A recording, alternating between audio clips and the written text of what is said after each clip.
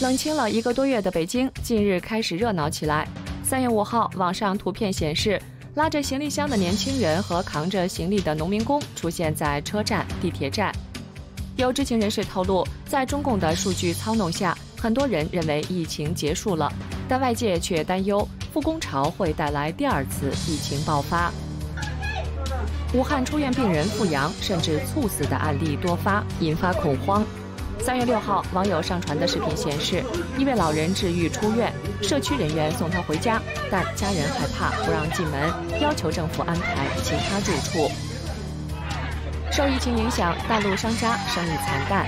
三月六号，广州十三行的商户走上街头游行，高喊“二三免租，四五减半”，要求减免租金。